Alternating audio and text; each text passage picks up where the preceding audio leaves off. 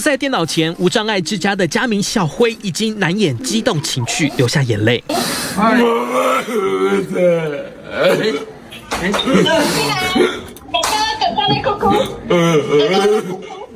一看到妈妈，小辉瞬间爆哭，说：“妈妈，我好想你。”另一头的妈妈则是赶紧安慰，因为防疫期间从三月二十号开始，高雄无障碍之家禁止家人探视，其中九十九位全天候的家民影响最大，六日也无法返家跟家人团聚，改用视讯。你好吗，张家明？